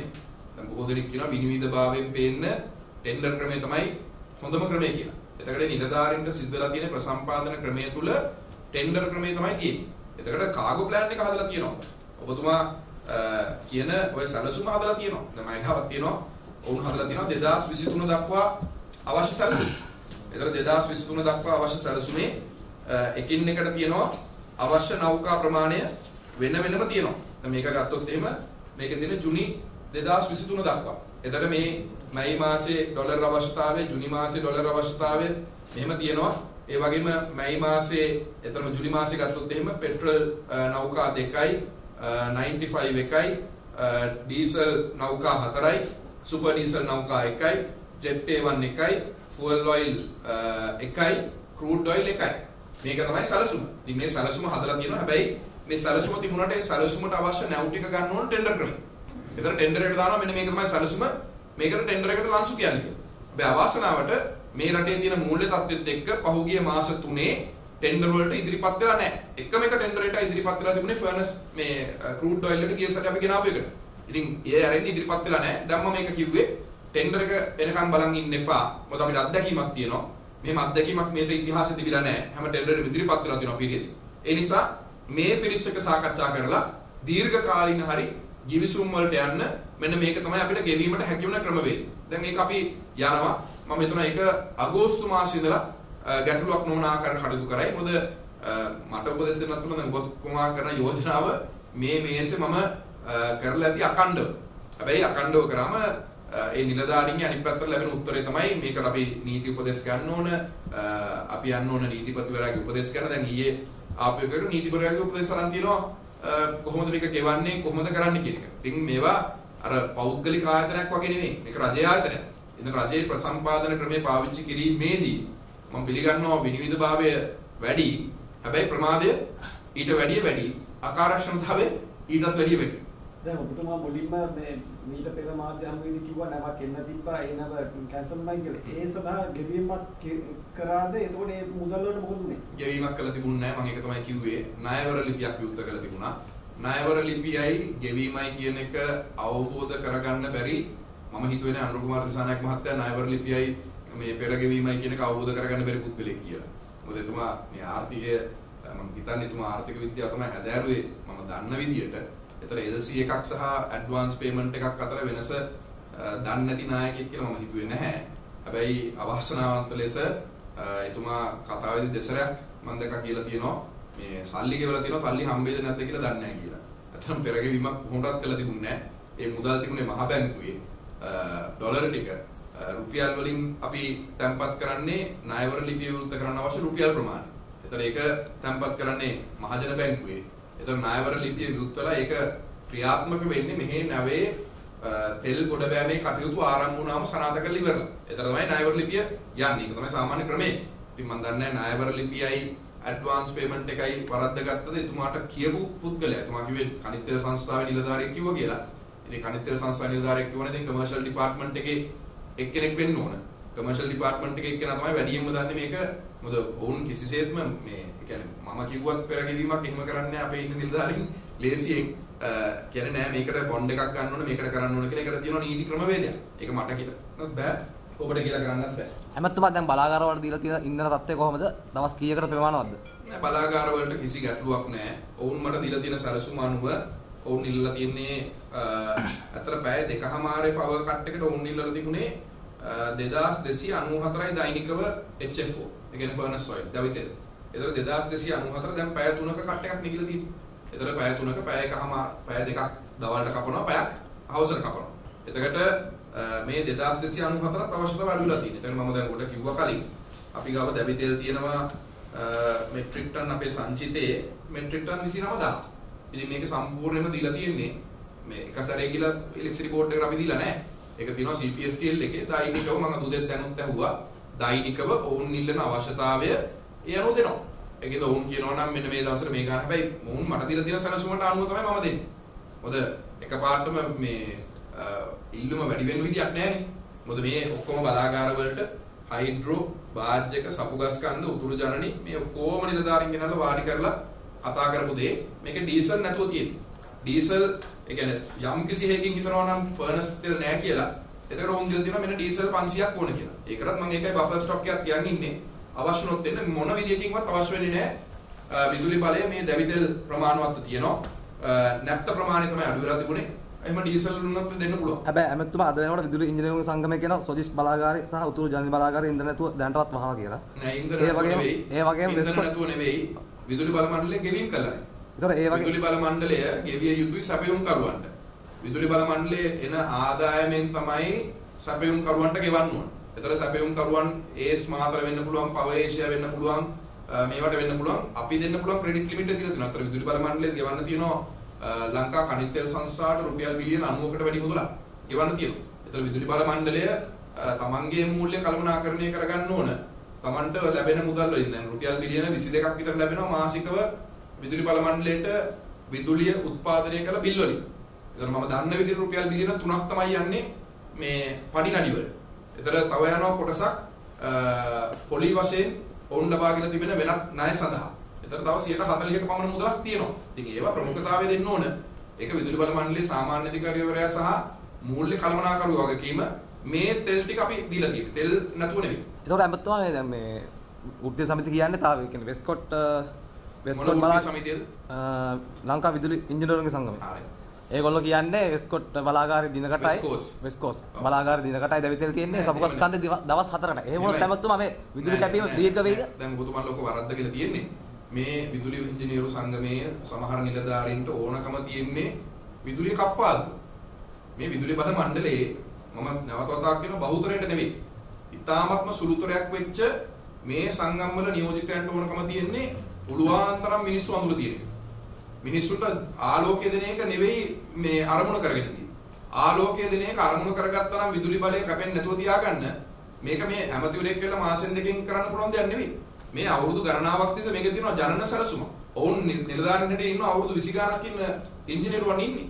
ඔවුන්ගේ සැලසුම ගියා නම් මේ රටේ 2014 නොරොච්චෝලේ බලාගාරයෙන් පස්සේ මේ රටේ කිසිම අලුත් විදුලි බලාගාරයක් ඉදි කරලා නැහැ. ඒක තමයි තියෙන ගැටලුව. ඉතින් මේ ගැටලුව දකින්න 2014 15 16 17 18 මේ 19 20 අවුරුදු 7ක් තිස්සේ. ඉතින් මේ මේ ගැටලුවක් තියෙන්නේ. හැබැයි දැන් කවුරු කියනවා හෙට දවස් විතරයි තියෙන්නේ කියලා තෙල් ටික ගිහිල්ලා තියලා තියන්නේ සම්පූර්ණ මේ තොගේ දාලි වල දවස් 10කට අවශ්‍ය තෙල් ටික. දවස ගානේ තමයි තෙල් ටික ගෙනියන්නේ. ඒතර දවසේ අවශ්‍යතාවයක් දීලා තියෙනවා. ඔය ඉන්ජිනේරු සංගමයේ ඔය කියන එක්කෙනා නොදන්නවා ඇති. දැන් මට අ, ඒ අලහකෝන් කියන්නේ DGM. එයා ඒවල තියෙනවා මේ සාමාන්‍යයෙන් දවසේ අවශ්‍යතාව මෙහෙම එවනවා. දවසෙන් දවස එවනවා. මේක බෙදාගෙන තියෙනවා මේ අ, කණිතෙල් සංස්ථාවේ සහ කණිතෙල් බෙදා හැරීමේ ආයතන නිලධාරීන්ක. ඉතින් ඒ නිලධාරීන් මේ අවශ්‍යතාවය අනුව දෛනිකව අවශ්‍ය ටික මෙතකට වාජ්‍යකට කීයද ඕන ඒව ටික යවනවා. ඉතින් ඒක කිසි ගැටලුවක් නැහැ. කිසිම ආකාරයකින් තෙල් ලබා දීම නවත්තලා නැහැ. හැබැයි පෞද්ගලික බලාගාර කීපයක් තියෙනවා බිල් ගෙවන්නේ නැතුව ඔවුන් දැන් විදුලි උත්පාදනය කරන්නේ නැහැ. හැබැයි මට දීලා තියෙන ජනන සැලසුම අනුව මේ දීලා තිබුණේ පැය දෙකමාර කට් එක දැන් පැය 3යි. මේ පැය 3 කට් එකටත් මේ ප්‍රමාණවත් හොඳටම මේ තියෙන ප්‍රමාණය. දැන් පොදු ප්‍රවාහනයේට නියමිත ආකාරයෙන් ඉන්ධන ලබා දෙන්නේ නැහැ කියලා චොන්දරන. දැන් ඊයේ උඩහමුන්න ඩිපෝ එකේ කොහෙවත් නැති පෞද්ගලික වාහනත් ඇවිල්ලා මේ ඩිපෝ එකේ තෙල් දාගෙන යනවා. ඇයි මේ මේ සලස්මක් නැත්තේ? අනිත් එක ඉතින් අපිට තියෙන්නේ ඉන්ධන බෙදා හැරීමේ සැලසුම තියෙන්නේ. ඉන්ධන නිකුත් කිරීමේ සැලසුම තියෙන්නේ ප්‍රවාහන අමාත්‍යාංශයට. අපිට තියෙන්නේ ඩිපෝ වලට හෝ ඩිපෝ වලින් දුන්නම අවශ්‍යතාවයක් මෙන්න මේක තමයි අවශ්‍යතාවය. මොකද කණිත් තෙල් සංස්ථාවෙන් ගිහලා තෙල් ගහන්නේ නැහැ. කණිත් තෙල් සංස්ථාව කරන්නේ තෙල් ආනයනය කරන එක සහ බෙදා හැරීම. තෙල් පම්ප් කරන එක කරන්නේ ඒ ඩිපෝ වල සහ ඒ ෂෙඩ් එකේ අ, පුද්ගලයෝ කරන්නේ. ඉතින් බෙදා හැරීමේ කටයුතු පමණයි අපිට කරන්නේ. අපිට දීලා තියෙන සැලසුම අනුව අපි හැම ඩිපෝ එකකටම මේ අවශ්‍යතාවය දෙනවා. CTB එකට වෙනම එල්ලලා තියෙනවා මෙන්න මේ ප්‍රමාණයක් ඕන. CGR එකට වෙනම ඉල්ලලා තියෙනවා. අ, ඩිපෝ වල අපිට කියලා තියෙනවා අ, පෞද්ගලික බස් රථ සහ අ, කර්මාන්ත. දැන් ඔය සමහරට ඔබ කියනවා ඇත්තේ සමහර තියෙනවා තේ කර්මාන්තේ. අපනයන කර්මාන්තවල පිරිසුත් සමහර එතන ඇතුළත් කරලා තියෙනවා. සමහරවල් තියෙනවා පොදු ප්‍රවාහනයේ වගේම පෞද්ගලිකව සහ රජයේ කාර්යාල වලට සේවකයන් ප්‍රවාහනය කරන බස් රථ වෑන් රථ සංචාරක කර්මාන්තي විදේශිකයන් ගෙනියන බස් රථ වෑන් රථ මේවත් අතුල් කරලා තියෙනවා විවිධ පළාත්වල සෞඛ්‍ය අංශේ අත්‍යවශ්‍යම සේවා කරන පිරිසුත් ඒක අතුලත් කරලා තියෙනවා විදුලි බල මණ්ඩලය වගේ දැන් මට ඊයේ සභාපතිතුමා කිව්වා විශාල බිඳ වැටීමක් වෙලා තියෙනවා දකුණු පළාතේ. එතන දකුණු පළාතේ ඉන්න කට්ටියට තෙල් ටික ඕන වුණාම ඩිපෝ එකෙන් තමයි ගන්න. ඒක කියලා විදුලි බල මණ්ඩලයට එතන අවශ්‍යතාවය මෙච්චර තියෙනවා කියලා එතන ඩිපෝ එකට ගිහලා ඩිපෝ එකකින් ඉල්ලලා තමයි ඒ විදුලි බල මණ්ඩලයේ ඉංජිනේරුවන්ට තාක්ෂණ නිලධාරීන්ට අවශ්‍යතාවය ගන්න. ඒ නිසා අපිට තියෙන්නේ නිකුත් කිරීම තොග ටික. තොග ටික අපි අකණ්ඩව අර මම කිව්ව දවස් වෙනකන් අපි දෙන නිශ්චිත ප්‍රමාණයක් තියෙනවා. ඒක හැමම නිකුත් කරනවා. දඹුල්ල ආර්ථික මධ්‍යස්ථානයේ මැනින් වෙලඳපොළ ඒ වගේ ආර්ථික මධ්‍යස්ථාන කේන්ද්‍ර කරගෙන යුද හමුදාව සහ නාවික හමුදා යුද හමුදාව ගුවන් හමුදාව වගේ ස්ථානවලින් මේ කටයුතු යනවා. so මේක අකණ්ඩ වෙනවා අඩුපාඩු ඇති. ඇමතුමා දැන් මේ මාධ්‍ය වේදීන් අත්‍යවශ්‍ය සේවා නෙවෙයිද? සියලුම සේවාවන් අත්‍යවශ්‍ය නෑ මේ කහන්නේ දැන් මාධ්‍ය වේදීන්ද කියලා වෙනම තෙල් ගහ ගන්න ඔබ ඉල්ලීමක් කරන්න මම දන්නේ මම එදත් මේක කිව්වා මට එහෙම දෙන්න පුළුවන් ප්‍රමාණයක් තියෙනවනේ හැම සේවයක්ම අත්‍යවශ්‍යම සේවයක් මේකේ මෙන්න මේ සේවය නැත් ඒ කියන්නේ හැම එකම එකට එක ගැට ගහිලානේ තියෙන්නේ හැබැයි අපි දන්නවා හදිසි ඒ කියන්නේ ඉමර්ජන්සි සර්විසස් කියලා ඒ ඉමර්ජන්සි සර්විසස් කියලා තමයි අපි අර සෞඛ්‍යංශයේ සේවක ගත්තේ ඊට උඩින් ඉමර්ජන්සි සර්විසස් කියලා. හැබැයි විදුලි බල මණ්ඩලය, ජල සම්පාදන මණ්ඩලය, කර්මාන්තකරුවන් මාධ්‍යවේදීන් පමණක් නෙමෙයි මේ හැම එක්කිනාටම ඉන්ධන නැතුව දුවන්න බෑ. ඇත්තම ඉන්ධන ගත්තොත් ඉන්ධන ඉතින් හැම එක්කිනාටම අත්‍යවශ්‍යයි. තා පස්සේ තියෙන දැන් ඔබේ මාධ්‍ය හමුද එන්නත් අපිට පෙත්තට ඉන්දර තියෙන්න ඕන මාධ්‍ය වේදීන්ට. එහෙම ඒ හින්දා ඇහුවේ. නෑ මට මාධ්‍ය හම්මුවට එන්න කියලා ඉන්ධන දෙන්න ක්‍රමවේදයක් නැහැ. නෑ ඒ වගේ දැන් එහෙම එහෙම ක්‍රමවේදයක් නැහැ. සහෝදර එක එහෙමනම් දෙන්න ක්‍රමයක් නැහැ. මේ දෙන්න පුළුවන් ඉන්ධන ටික තමයි දෙන්නේ. එහෙම මේ වෙන් කරන්න බෑ මාධ්‍ය හමුවට එන ඉන්ධන මේ මාධ්‍ය වේදීන්ට ඉන්ධන දෙන්න අපි නෑ, නෑ. මේක ඇවතුවා. මේ මාර්ගගත ක්‍රමෙනුත් කරන්න පුළුවන්. අපි එහෙනම් ඉදිරියේදී ඒක සැලකිල්ලට අරගෙන අපි මාර්ගගත ක්‍රමයට යමු. දැන් හැමතුමා ඒ වගේම අත්‍යවශ්‍ය සේවාවලට සෙට් වෙන් කරලා තියෙනවානේ. ඒවා තියෙන දැන් සෞඛ්‍ය ඒ වගේ වෙන් කරලා තියෙනවා. ඒවට පිටත්තර මේ මිනිස්සුත් ඇවිල්ලා ඒ කියන්නේ මේ ගැටලු ඇති කරනවා. ඒකට මොකක්ද ක්‍රමවේදයක් නැද්ද? මම ඒක කිව්වේ අපිට තියෙන ඉන්ධන බෙදා හැරීම. ඉන්ධන නිකුත් කිරීම තියෙන්නේ ඒ පිරෝම්හල් අයිතිකරුවන්ට තියෙන කාර්යභාරයක්. ඒකෙදී ඔබටම පේනවා ගිහිල්ලා විවිධ පුත්කල සංවිධානාත්මක වෙනවා කියලා. ඒක දැන් මේ හැම ෂෙඩ් එකක්ම නිකන් මේ මේ පාතාලේ බෙදාගෙන වගේ නිකන්. එක ෂෙඩ් එකක් මෙහා අර ෂෙඩ් එක මෙහා මේ ගමේ කට්ටිය මෙහෙමයි එහෙම බෙදාගෙන ඉන්නේ. ඉතින් ඒකේ දෛනිකව එකතු කරන පිරිස් ඉන්නවා.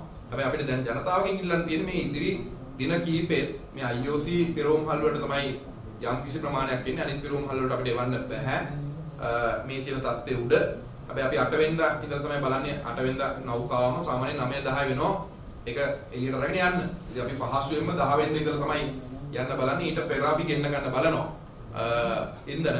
හැබැයි මේක මොන විදියකින්වත් සීමා කිරීම වලදී ওই බාධා වලට මුහුණ දෙන්න වෙනවා. මොකද පොලිසිය නිලධාරි ගත්තත් පොලිසිය නිලධාරි පැය 18ක් විතර වගේ එළියේ ඉඳලා කරන පැය 6ක් ගෙදර යනවා. හැබැයි කට්ටියට ඉන්ධන නැහැ. ඒ ඔය ප්‍රශ්නේ තියෙනවා. හැමතෝ ඔය ඉන්දරට ඔගේ ආවට පස්සේ අර ටෝකන් ක්‍රමේ තියේද ඉදිරියට? නෑ ටෝකන් ක්‍රමයක් නැහැ. මම ඒකයි කලින් කිව්වේ. ඔබතුමාලා වරදිට වටහා ගන්න එපා. මේ ටෝකන් ක්‍රමය කියන එක ආවේ එදා දවසේ 23 24 වෙනිදා තිබිච්ච පෝලිං වල. ඉන්න පිරිස් වලට දීලා ඒ කට්ටියට රැඳිලා ඉන්න එපා. ඊළඟට අපි 10 වෙනිදා හෝ 15 වෙනිදා එන දවසට ඒ කට්ටියට කතා කරලා ගෙන්න ගන්න.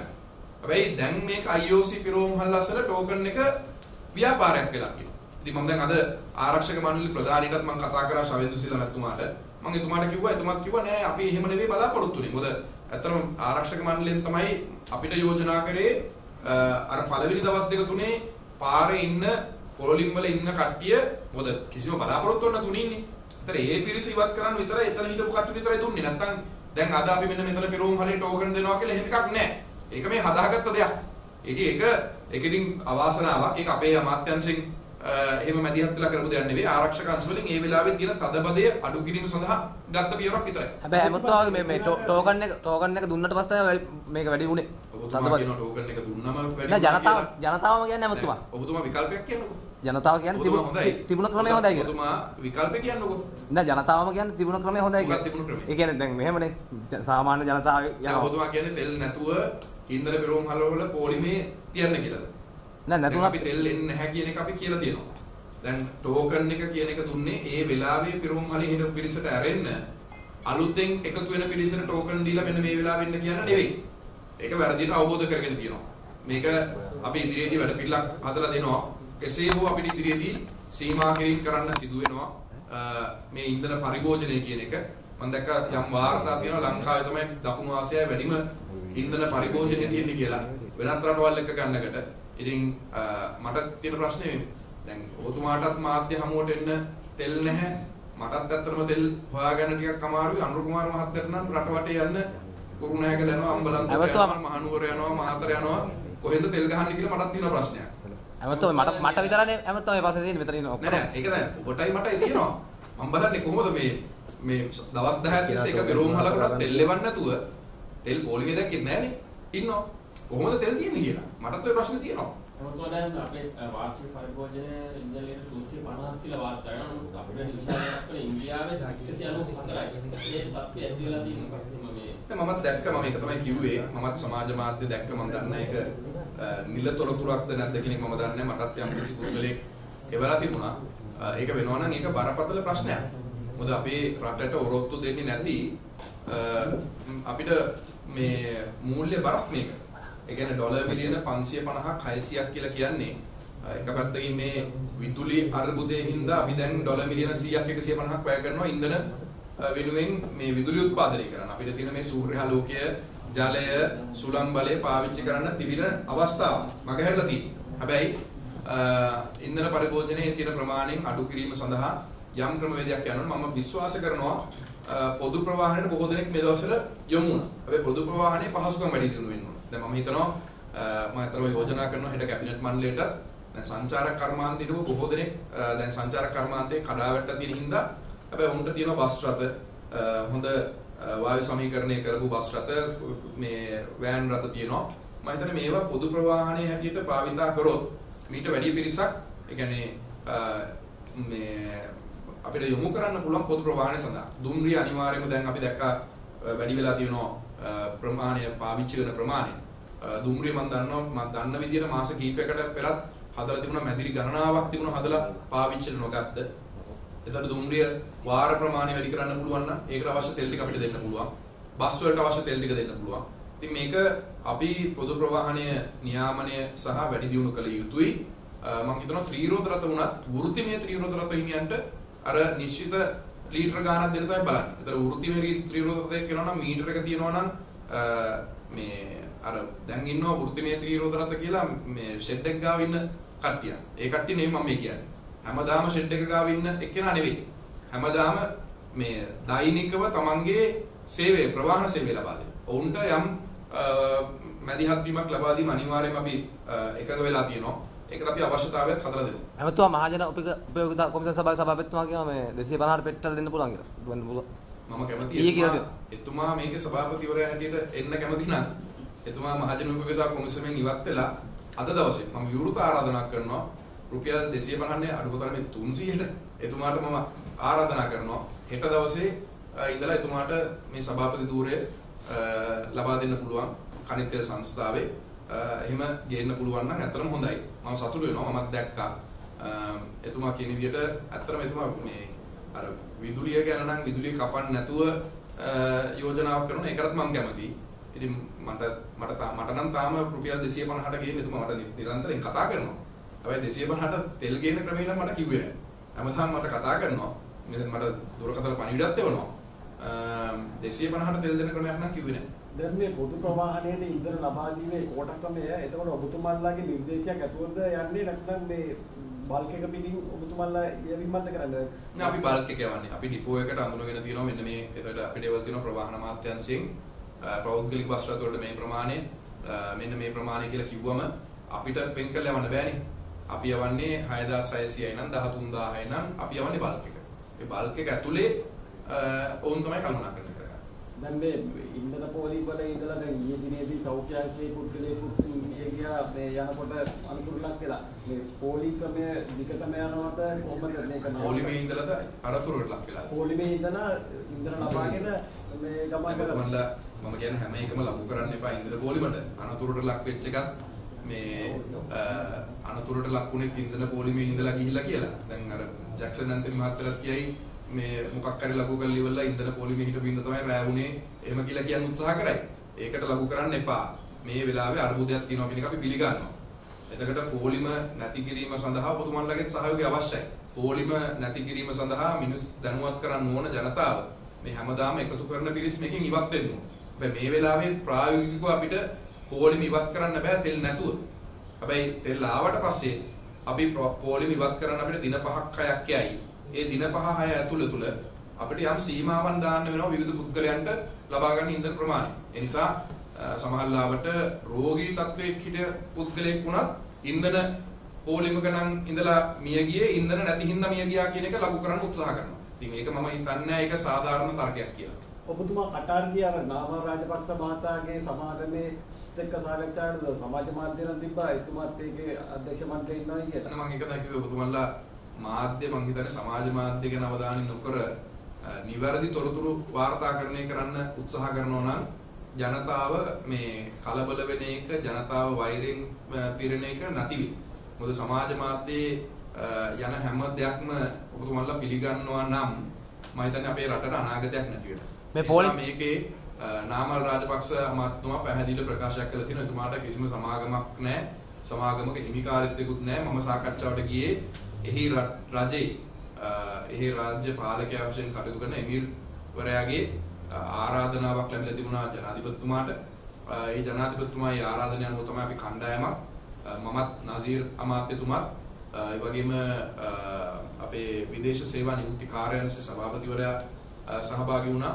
අ, තවත් අපිත් එක්ක සහභාගී වුණා. තවත් සාකච්ඡා කිහිපයකට අ, සංචාරක අ, මණ්ඩලයේ අධ්‍යක්ෂක ජෙනරාල් වරිය සහභාගී වුණා.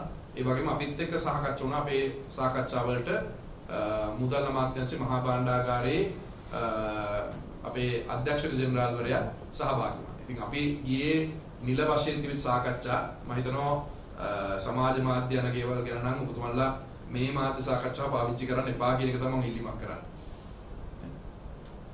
පෝලිං අඩු වේද මෙතන? හා? පෝලිං අඩු වේද? ඉස්සරහට 10න් පස්සේ. නෑ පෝලිම අඩු වෙන එක කිරීම තමයි අපේ බලාපොරොත්තුව.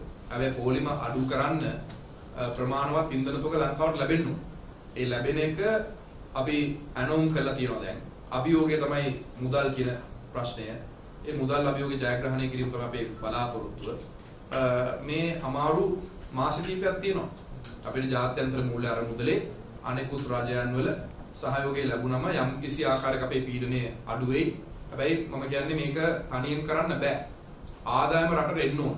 අපිට එන ආදායම් ප්‍රධානම මාර්ගය දැන් ඉන්නේ ශ්‍රමිකයන්ගෙන් නම් ඒ ශ්‍රමිකයන්ගෙන් ඩොලර් මිලියන 600ක 700ක ප්‍රමාණය වැඩි වෙන්නේ නැතුව අපිට මේක කළමනාකරණය කරන්න බෑ.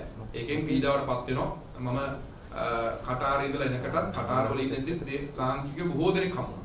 මේ කට්ටිය කිව්වා පහුගිය කාලවල ඒ කට්ටිය අතරම බැංකු හරහා එව්වේ නැහැ. මොකද වැඩි මුදලක් හමු වුණා. බැංකු නොවන පද්ධති තුලින් එවන්න. හැබැයි දැන් මේ කට්ටියක තේරුම් අරන් මොකද ඒ කට්ටියගේ අම්මලා තාත්තලාත් ඉන්නේ පවුලේ කට්ටියත් ඉන්නේ පෝලිං වල. ඒ නිසා ඒක තේරුම් අරන් ඒ කට්ටිය එවනවා කියන එක. අර අ, ගුවන් යානේ හම්බෙච්ච ලාංකිකයෝ කිව්වා අපි දැන් 100%ක්ම 100ට එවන්න උත්සාහ කරනවා. අ, තාම එක්කෙනෙක් දෙන්නෙක් තමයි එහෙම එවන්නේ නැත්තේ. ඉතින් මේක අපි හැදෙනවා නම් අ, ලංකාවට ඩොලර් ගේන තව ක්‍රම තියෙනවා නම් මේක තමයි අපේ ක්‍රමවේදය.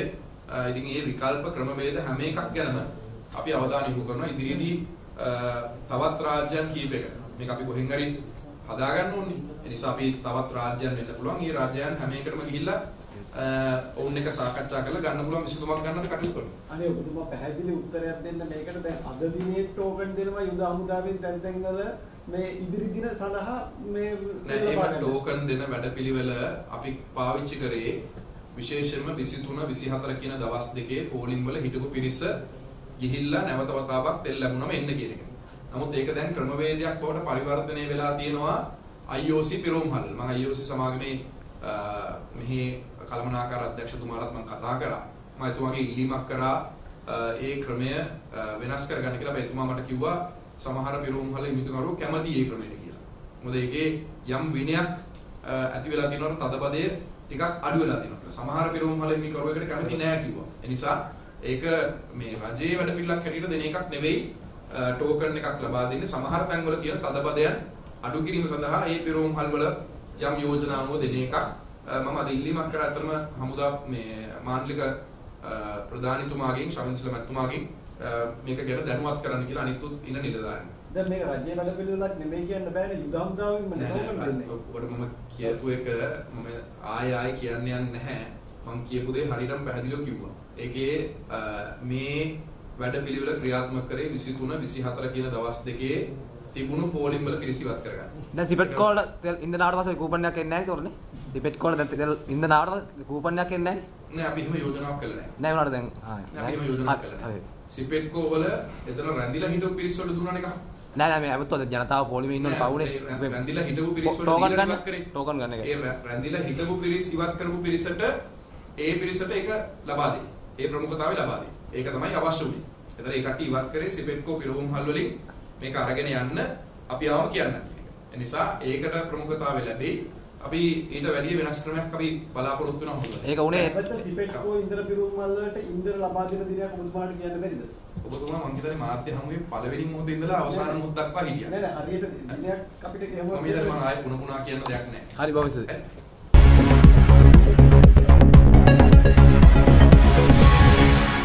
උණුසුම් පුවත් දෙසනින් දැනගන්න ලක්දරන අපිව සබස්ක්‍රයිබ් කරන්න. වීඩියෝවට ලයික් කරන්න කමෙන්ට් කරන්න ශ්‍රයක් කරන්නත් අමතක කරන්න එපා.